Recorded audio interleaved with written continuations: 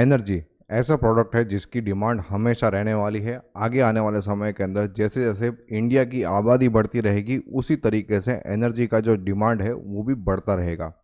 Energy का जो production है, उसमें हमें एक बहुत ही बड़ा शिफ्ट देखने को मिल रहा है। अभी के समय में हम देख रहे हैं कि जो एनर्जी का प्रोडक्शन हो रहा है, वो कोल और इस टाइप के जो अलग अलग टाइप के नेचुरल रिसोर्सेज है, उसके द्वारा होता है। लेकिन अभी के समय में जो शिफ्ट हो रहा है, वो हम विजुअली देख सकते हैं। लोगों के घर के ऊपर सोलर प्लेट्स हमें लगे हुए देखने को मिल रहे हैं। साथ में विंड एनर्जी जो है, वो भी अभी धीमे धीमे इंट्रोड्यूस होना शुरू हो रहा है।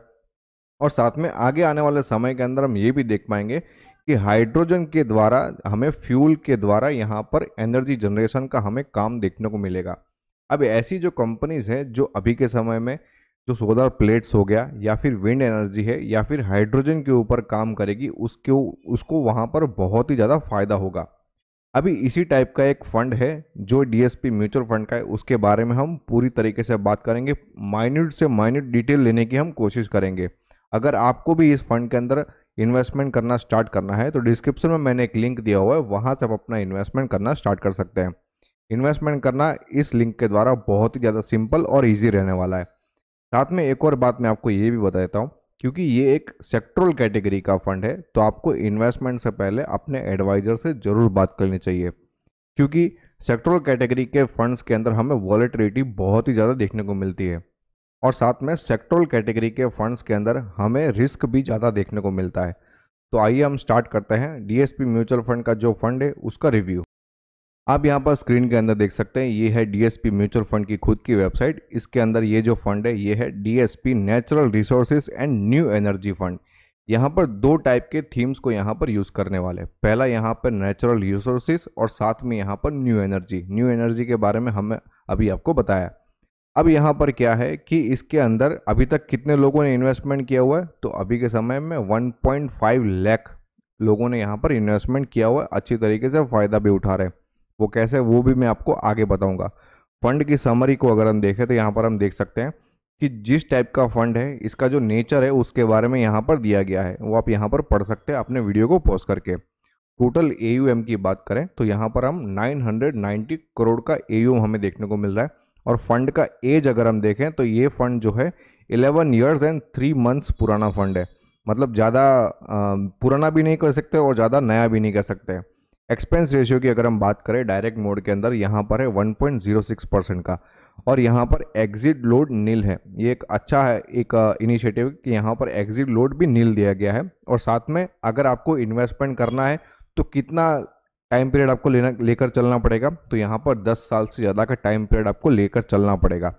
साथ में अगर हम यहाँ पर होल्डिंग की बात करते हैं तो कंपनी ने यहाँ पर कौन से कौन से स्टॉक्स के अंदर इन्वेस्टमेंट किया हुआ है? तो आप देख सकते हैं यहाँ पर टाटा स्टील है, कोल इंडिया है, यहाँ पर हिंदालको इंडस्ट्रीज़ लिमिटेड है ब्लैक रॉक ग्लोबल फंड्स है और साथ में Jindal steel BlackRock global funds और रिलायंस इंडस्ट्रीज़।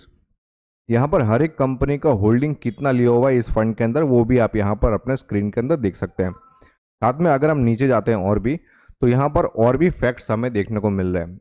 उस फैक्ट्स के पहले मैं यहाँ पर बता देता हूँ कि यहाँ पर फंड मैनेजर्स कौन है तो यहाँ पर पहले फंड मैनेजर्स हैं यहाँ पर रोहित सिंगानिया, जिनको 23 साल से भी ज़्यादा का एक्सपीरियंस है। दूसरे फंड है यहाँ पर जय कोठारी, जिनको 18 साल से भी ज़्यादा का एक्सपीरियंस है। ये दोनों जो फंड मैनेजर्स है, इस फंड को बहुत ही शानदार तरीके से मैनेज कर रहे हैं। अब यहाँ पर जो फैक्ट्स दिए हुए उसमें एक और पॉइंट बहुत ही नोट करने जैसा है कि थिंक बिफोर यू इन्वेस्ट मतलब आपको इन्वेस्टमेंट से पहले ये सोचना चाहिए, क्या सोचना चाहिए, वो भी मैं आपको बताता हूँ। This is a sectoral thematic fund, therefore its NAV is likely to fluctuate a lot more than diversified equity fund. अब यहाँ पर एक देखने जैसे बात है क्योंकि ये थीमेटिक कैटेगरी का फंड है जो मैंने आपको आगे भी बताया था यहाँ पर वॉलेटिलिटी हमें बहुत ही ज़्यादा देखने को मिलेगी। साथ में ये भी लिखा है कि please do not use recent और past returns as the only criteria to evaluate this fund यहाँ पर पास्ट रिटर्न को देखकर आपको इन्वेस्टमेंट नहीं करना चाहिए। Natural resources and new energy fund carries very high risk ये जो थीम है, इसके अंदर बहुत ही ज़्यादा रिस्क हमें देखने को मिलता है। और वो क्यों? यहाँ पर एग्जैक्ट फिगर्स के साथ में यहाँ पर बताया in the past there has been a occasion where this funds N A V fell by forty percent in year एक साल ऐसा आया था जहाँ पर इस फंड की N A V forty percent जितना गिर चुकी थी। तो आपको ये सब चीज़ें सोचनी चाहिए इन्वेस्टमेंट से पहले।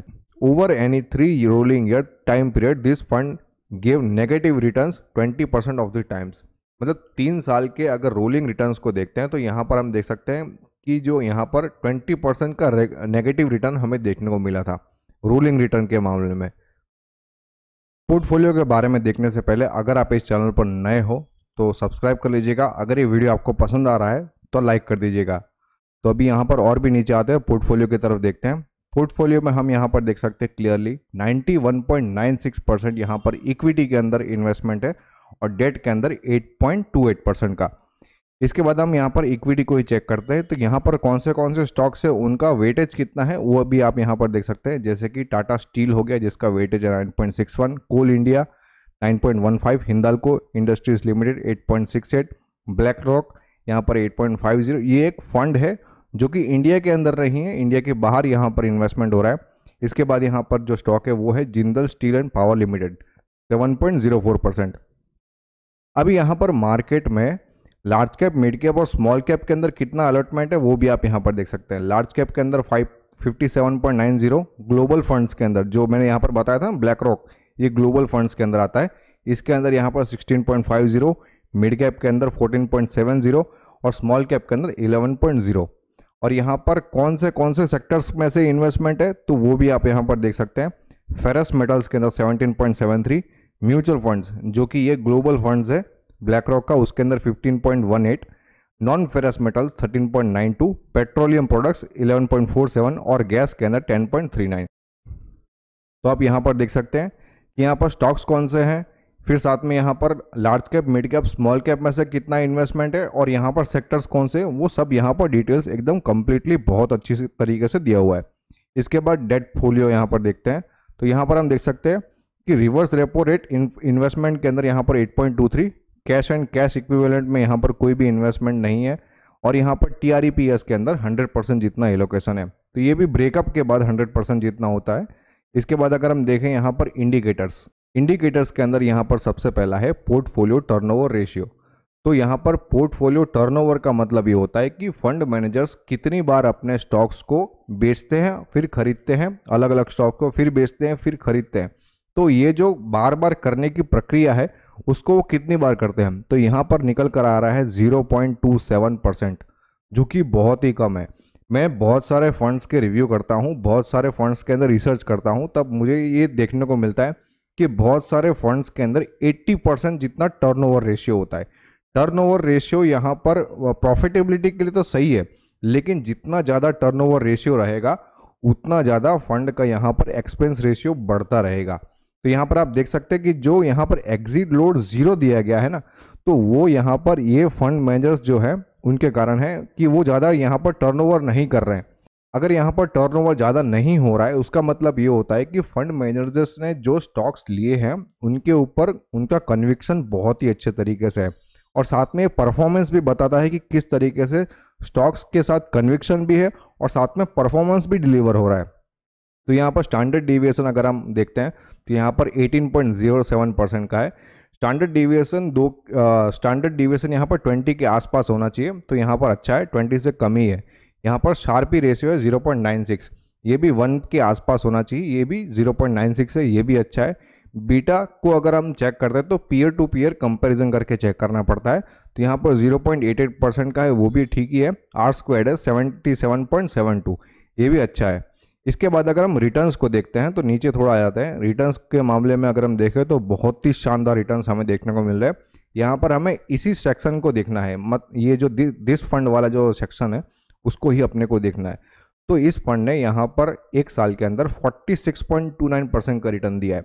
और इसको अगर हम और भी जैसे कि इसको बेंचमार्क है तो 45.54 परसेंट का रिटर्न है। अगर हम यहाँ पर तीन साल का रिटर्न देखते हैं इस फंड का तो 25.87 मतलब तीन साल से 25.87 परसेंट का रिटर्न दे रहा है। लास्ट पाँच साल से 21.07 परसेंट का रिटर्न दे रहा है। और ये फंड जब से लॉन्च हुआ है, तब से 18.34 परसेंट का रिटर्न दे रहा है। मतलब जब से ये फंड लॉन्च हो रहा है 11 साल से ये फंड 18.34 परसेंट का रिटर्न दे रहा है, जो कि बहुत ही शानदार है। जैसे कि मैंने वीडियो के स्टार्टिंग में आपको बताया था कि एनर्जी की जो डिमांड है, वो हमेशा बने रहने वाली है। तो आप यहाँ पर देख सकते हैं कि उसी के फलस्वरूप यहाँ पर हमें इन इंसेप्शन जो इसका रिटर्न्स है, वो हमें बहुत ही शानदार देखने को मिल रहा है। यहाँ पर इसके अगेंस्ट में यहाँ पर अगर इन्वेस्टमेंट किया होता तो आपका वैल्यू कितना होता तो वो भी आप यहाँ पर क्लियरली देख सकते हैं और आप मेंशन भी कर सकते हैं, यहाँ पर नोट डाउन भी कर सकते हैं। यहाँ पर रिस्कोमीटर कितना बता रहा है तो वेरी हाई बता रहा है। और साथ में अगर आपको इन्वेस्टमेंट करना है तो यहाँ पर हंड्रेड रुपीज़ से, मात्र टोकन अमाउंट हंड्रेड रुपीज़ से आप अपना इन्वेस्टमेंट स्टार्ट कर सकते हैं लमसम के तौर पर। अगर आपको अपनी एसआईपी स्टार्ट करनी है तो मात्र हंड्रेड रुपीज़ पर मंथ से आप अपनी एसआईपी स्टार्ट कर सकते हैं। अमाउंट बहुत छोटा है। अगर आपको इन्वेस्टमेंट स्टार्ट करना है तो आप छोटे से अमाउंट से भी अपना इन्वेस्टमेंट स्टार्ट कर सकते हो। लिंक मैंने डिस्क्रिप्शन में दे दिया है, वहाँ से आप अपना इन्वेस्टमेंट भी स्टार्ट कर सकते हो, जो कि बहुत ही ईजी और सिंपल स्टेप्स के अंदर आप एकदम आसानी से इन्वेस्टमेंट कर सकते हो। तो ये था हमारा आज का रिव्यू हमारे डीएसपी म्यूचुअल फंड का और अगर आपको ये वीडियो पसंद आया तो लाइक कर दीजिएगा। अगर आप इस चैनल पर नए हो तो सब्सक्राइब कर लीजिएगा। Thanks for watching.